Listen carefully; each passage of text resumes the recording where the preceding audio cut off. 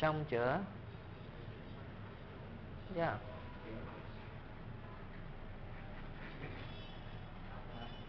rồi xong ha. Xong ha. Cái này nha. Rồi sau khi nịt thì nó ra cái file này. À, bây giờ các bạn đi. Bây giờ các bạn một bên là các bạn nhớ nó có hai giá trị. Một bên là khóa một bên là giá trị uh, hai phần. Một bên là khóa một bên là giá trị. Ha. bây giờ cái khóa là cái chung. File nào cái khóa cũng chung hết khóa nè. Còn value này á, là nó phải nó phải thay đổi theo cái ngôn ngữ gì? Việt hoặc là anh, ha. Rồi, như vậy bây giờ nếu như việt, bây giờ mình đang làm cái file cho cho tiếng nào? Tiếng anh đúng không? Thì cái chữ đăng ký này, tiếng anh đó là gì? À như vậy thì cái chỗ này nè. Cái khóa của mình là tiêu đề, cái khóa không được phép khoảng trắng nha. Cái khóa mình là tiêu đề đi ha. Bằng. Bây giờ tiếng anh của cái đăng ký là cái gì? Rồi, được chưa? Rồi, còn cái này. HT ha HT cái khóa là HT đi ha. Cái khóa là không đổi nha. Rồi bây giờ nếu tiếng Anh của họ tên là gì? À full name đi ha ví dụ vậy. Rồi. Rồi tiếp tục hộp thư đúng không? Hộp thư là hộp thư HT nó không được. À, mail. À, mail. À, dấu bằng mail. Mail thì tiếng Anh là email luôn ha. Rồi địa chỉ. Địa chỉ là DC địa chỉ à, là gì? Address. Rồi quốc gia. Quốc gia.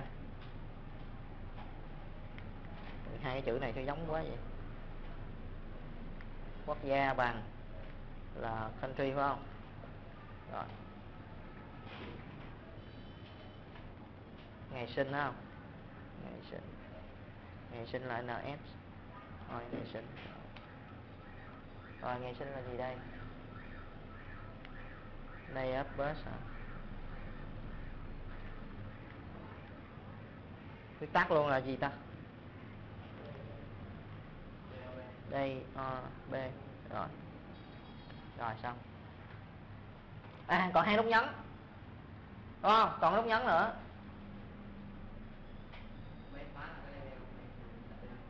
À. không, thực ra cái khóa em đặt gì cũng được, nhưng mà nhưng mà không đổi. Nha, nhớ là không đổi. Và đặt cái gì thì chú phải nhớ để để chú mình lập trình là mình đọc là mình dựa vào cái khóa. Hiểu không? Còn mình lấy giá trị của nó lên thôi mình lấy giá trị gì bằng cái khóa? Còn cái nút nhấn như nút uh, hủy ha, là cái này là cancel cái này là gì? Send đi ha. À, sao cũng được các bạn đặt sao cũng được ha. Này là nút nhấn nè nút đăng ký nút đăng ký tôi, tôi có khóa là nút đăng ký ha là send. Các bạn đặt sao cũng được nhá tiếng anh thôi còn này là nút uh, nút hủy đúng không? Hủy. Thì thì đặt là cancel. Rồi đây là dành cho tiếng anh. À. rồi, tạo property cho một cái tiếng anh giờ phải tạo property cho tiếng gì? Tiếng việt, cho nó giống đây luôn, đúng không? Rồi, ok. Nè list chuột, tạo ra một cái property file này, nó có sẵn ở đây. Khi mình tạo một lần, nó sẽ có sẵn, ha. Rồi list chuột vô. Rồi, đặt tên luôn, đặt tên theo chuẩn. Cái này là chuẩn nha, cái này phải lên mạng coi coi chuẩn của mỗi quốc gia như thế nào. Đây là VN là Việt Nam, sử dụng tiếng Việt Nam rồi nè để tránh sự nhầm lẫn á qua cái cái file mà mình mới viết á mình copy. Tại sợ các bạn gõ cái khóa nó nó, nó sai á. Cái khóa là phải giống nhau hết. Copy đi copy hết cái này. Rồi qua bên cái file mà mình mới vừa tạo á mình bát vô. Bát vô được chưa? Rồi bây giờ mình sửa cái value thôi không có sửa cái khóa. Hiểu không? Cái value sửa vô. Đăng gì? Ký. Này là gì? Họ tên? Hộp thư. Chỉ đó, cái này là dành cho tiếng việt, ha.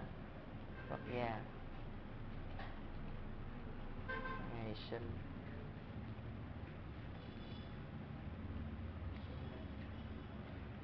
Đăng ký và hủy, ha. Vậy là không sợ bị lộn rồi bây giờ các bạn muốn tiếng Trung Quốc nữa không? À, các bạn muốn tiếng Thái Lan à, tiếng Lào gì đó thì các bạn cứ tạo thêm ba bấy nhiêu file ha. Các bạn thấy giải pháp này thì nó đơn giản hơn là các bạn giải pháp tự dịch như là giải pháp là copy phần mềm đúng không? Thì bắt đầu chúng ta sell lại. Sell các cái file lại. Các bạn thấy nó có màu đen đậm là chưa có sell á nhấn Ctrl S sell lại. Rồi. Rồi, bắt đầu chúng ta bắt tay vào lập trình ha. Rồi. Rồi các bạn làm theo tôi nè tất cả các bạn vào trong cái phần run và các bạn chọn cái phần build project build. Build đi. Rồi, build xong hết rồi đúng không? Rồi. Nó nghe là hai cái file này nếu mà để ở đây nó không có chạy được. Nó không có đọc được. Mà phải để hai cái file này ở đây nè. Các bạn mở cái thư mục mà nó chứa hai cái file đó đi. Mở thư mục mà nó chứa cái đồ sách của mình hồi nãy mình đặt tên là gì? Đây. My redisty shop. Rồi. Rồi, các bạn vào trong thư mục flc vào trong thư mục này, các bạn thấy hai cái file này các bạn mới tạo, đúng không? Đúng không? Đúng không? Cắt nó. Cắt chứ đừng có xóa nhau các bạn để trong cái thư mục build. À để trong thư mục build. Để trong cái class build. À. Build, rồi class. Rồi bát ở đây.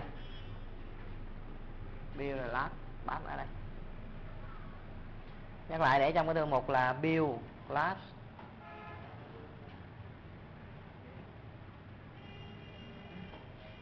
Yeah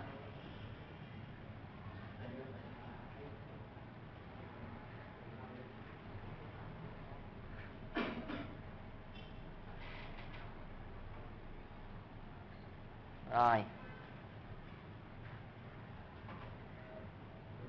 Rồi, xong chưa? Như vậy thôi. Rồi nè, xong rồi các bạn. Click chuột vào trong cái radio button thứ nhất. Nhìn. Thôi, click chuột vào radio button elite đi. Click chuột vào radio button này. Rồi, nhìn bản nha. Không nhìn bản làm được đâu. Click chuột vào radio button elite nè rồi, nhẹ nhàng nhìn bên phía tay phải, nó có cái property đúng không? Đừng có chọn property chọn event đó nhẹ nhàng chọn event đó được chưa? Rồi. Xong rồi các bạn thấy chữ action perform không? Rồi, các bạn double click vô. Các bạn các bạn chọn đây, các bạn thấy có cái này luôn, đúng không? Đúng không? Chọn luôn. Đó, nó bung ra có. Sao không? Rồi, mọi thứ bây giờ chúng ta sẽ lập trình ở trong đây. Ha? Ok. Rồi, bây giờ bắt tay lập trình. Đầu tiên phải xác định nếu người ta nhấn cái nút radio button này thì là là xác định là người ta đang ở mỹ và xài ngôn ngữ tiếng anh đúng không? Thì mình phải dùng cái class lô lô gì? Lô locate để xác nhận. Đó lô locate. À, locate. L bằng new lô locate. Với ngôn ngữ họ sử dụng là en và quốc gia là gì? Us rồi. Được chưa? Rồi. Sau đó đọc cái file gì? Cái file property của mình á hiểu không? À. Đọc và chứa trong cái class result result result result window. À, result window. À, tôi gọi là message ha. Bằng à, bằng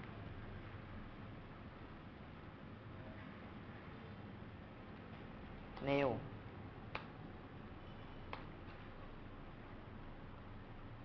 Bằng vì số vì get bool get buồn ha. Get bool. rồi, get buồn tức là đọc cái file cái file đó tên gì? Thì các bạn copy cái file vô, cái tên file á. Các bạn copy cái tên file. Nè, tại vì cái tên file nó nó nè nè, cái tên file các bạn copy. Copy cái tên tới đây thôi tại cái chữ n và us nó được xác định qua cái lab gì? Lô thay rồi ha. Các bạn copy cái tên thôi. Nè. Cái tên thôi nè. Không? Rồi, copy. Bắt vô. Gõ làm chi cho nó mất công. Gõ cũng được á. Nhưng mà mình có rồi thì mình copy, mình bắt vô cho nó nhanh. Bắt vô. Rồi, ở phía sau là xác định bằng cái chữ locate.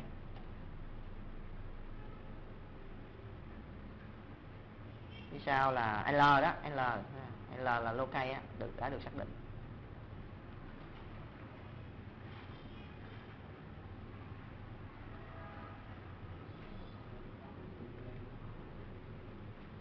Rồi. Rồi xong chưa? Xong rồi giờ mình lấy các cái khóa lên. Hiểu không? Cái value ở trong cái file mà NUS này là mình không biết. Tại vì mình đâu có nhớ đâu hiểu không? Bây giờ mình lấy tất cả khóa lên thì khóa nó sẽ được chứa ở trong đây. Y năm,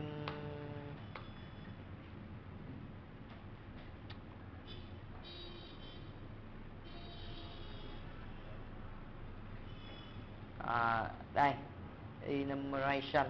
Ha cái này à, tôi kêu là viết ha. bằng bằng uh, message. Chấm. Get get gì? Get key thấy không? Lấy tất cả các khóa lên. À. như vậy là nó có thể nhiều khóa đúng không? Quá trời khóa luôn đúng không? Nè mỗi cái mục này mình đặt nó là một khóa rồi đó. À, rồi. Nhiều khóa quá cho nên mình phải dùng vòng lặp để mình đọc. À, mình đọc mình kiểm tra. Đọc. Kiểm tra nha trong cái biến đọc này nè. Tôi kiểm tra coi có nhiều khóa có khóa để đọc hay không. Nếu có khóa thì tôi tiếp tục đọc. Đọc khi nào hết khóa thì tôi tôi dừng à, thì đây là một lọc quay rồi. lấy một khóa. À, lấy một khóa khi bằng tích chấm. Next element à, next element lấy khóa. Rồi. Có khóa là lấy được giá trị không? Có khóa lấy giá trị ha. Lấy giá trị dựa vào khóa ha. Đây là rect chấm get value. Rect chấm. À, không message ha, message message chấm get value. Get string get string. rồi, get object dựa vào cái khóa. À. này ép kiểu thành string. Rồi. Rồi. Như vậy có khóa, có giá trị rồi. Mình mới thiết lập cái giao diện, đúng không? Mình nói rằng như là nếu khóa của mình, nếu khóa của mình mà bằng với cái gì? Bằng với cái Ồ, nãy cái tiêu đề là gì quên rồi.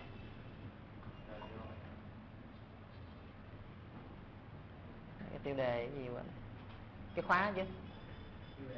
Tiêu đề. Rồi. tôi không nhớ nha các bạn cũng kiểm tra lại cái đừng để sai cái khóa. Rồi mình kiểm tra nếu như cái khóa là tiêu đề thì cái label nào được được thiết lập? Label title đúng không? À độ set gì? Set test. Set test cái value hay cái khóa. Set test cái value hay khóa value à, đúng rồi. rồi.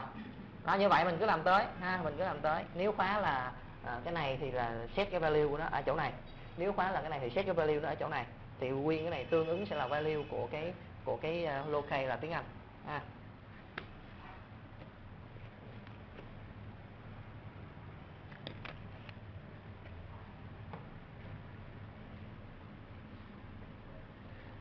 Rồi cái này y chang các bạn đừng có viết chi mất công các bạn copy nè copy nguyên cái đoạn này nè.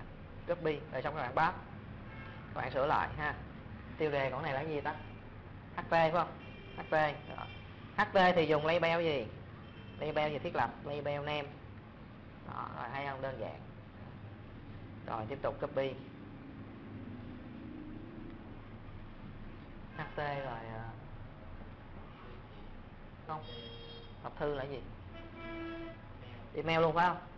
Mail mail mình phải nhớ kỹ cái khóa. Lbl email. Đó.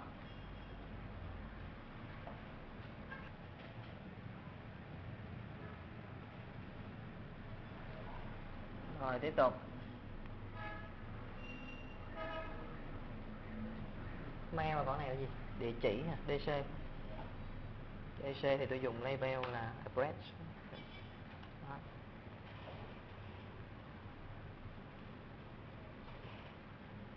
có ai đặt cái khóa xa khác tôi không? Quốc gia là quốc gia.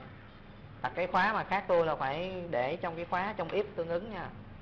Country ngày sinh là ngày sinh luôn. Ngày sinh. Birth ngày sinh xong rồi nút nhấn ha. Nút đăng ký. À thì cái này là đâu phải là label mà là cái gì? Btn gì? Vì à. rồi, tiếp tục tương ứng. Nút hủy. Này là bt à, ken. À. cái này nhắc lại nha, cái ở trong đây là cái khóa thì mình đang so sánh cái khóa. À cái này cái khóa à, cái khóa các bạn đặt như thế nào? Thì nhớ nhớ.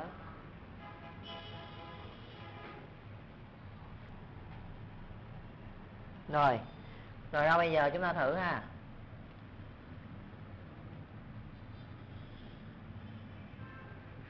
Chúng ta thử chạy cái giao diện thôi. À, chạy giao diện menu thử coi nó có ra không á. Rồi giao diện ban đầu là tiếng việt đúng không? À, chúng ta thử đọc cái này nó đọc không rồi, thì chuyển thành tiếng gì? À còn cái ngày sinh không có, đúng không? Ngày sinh. Sao trong đây để chữ D, B vậy? Vậy là đặt tên lộn cái control rồi. Tôi qua cái giao diện nè. Chỗ này tôi đặt tên là cái gì đây? Trời, cái chỗ này tôi lại đặt tên là cái label, hiểu không? Nó bị lộn nè. Đáng lẽ cái này phải là tt gì? Dob đi. Còn cái chỗ này nó là cái gì? RBL gì? Plus. hồi nãy đặt lộn cái cái test field cho nên cái test field nó nhảy vô đây hiểu không? Rồi, rồi bây giờ chạy lại nè nhìn bản nè. Để chuột phải run file nó đang là tiếng việt thấy rõ không? Đương chuột click vô đây. Nó sẽ biến thành tiếng anh. Ủa nữa?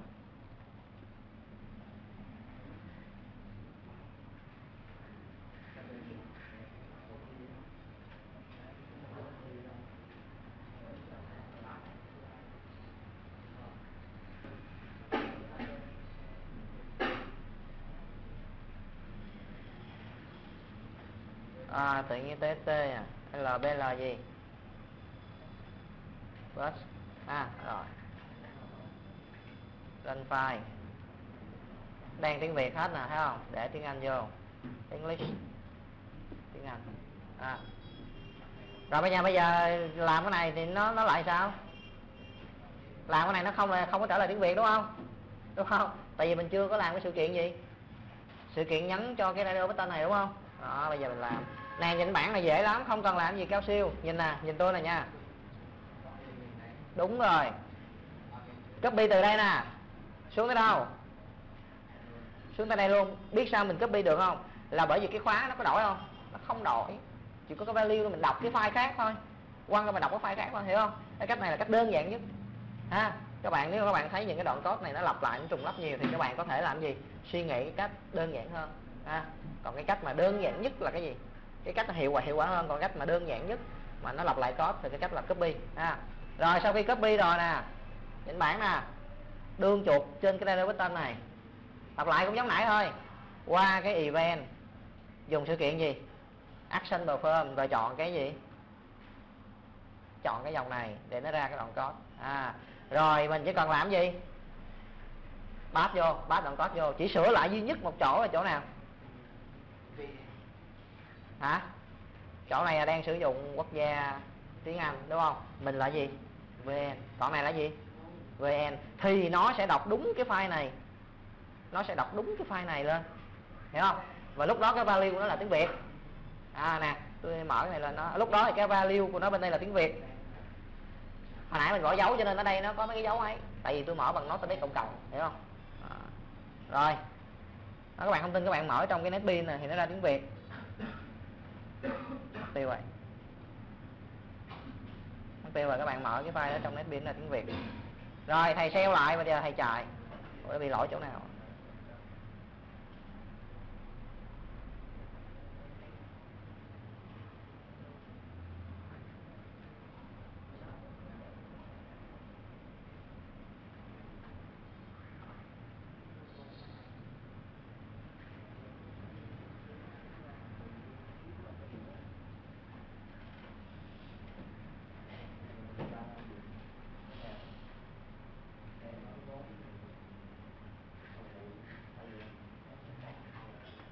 rồi rồi nè lấy chuột phải chọn run file đen tiếng việt đúng không? Click vô chuyển thành tiếng anh. Ai mà không thích tiếng anh thì nhấn vô thành tiếng việt. Phải không? Đó là chúng ta đang sử dụng song ngữ. À, song ngữ. Còn vấn đề họ muốn gõ cái gì đó họ gõ. Không? Cái ngôn ngữ nào thì họ tự gõ ngôn ngữ của người đó. Ha không vấn đề gì cả. Đó, này là xong đó. Rồi làm được tới đây chưa? Có ai còn coi lại gọn code nào không? Đó bạn nào viết code chưa xong? Lên chỉ nè. Phần này là dành cho action cho radio tân việt nam. À, chỉ sửa lại chỗ này thôi. Còn lại mấy chỗ khác giống y chang. Các bạn thấy dùng file đơn giản hơn nhiều không? Bây giờ muốn làm tiếng trung quốc nữa kéo ra cái tên trung quốc vô tạo cái documenty file rồi lên google copy mấy tiếng trung quốc thảy vô xong à.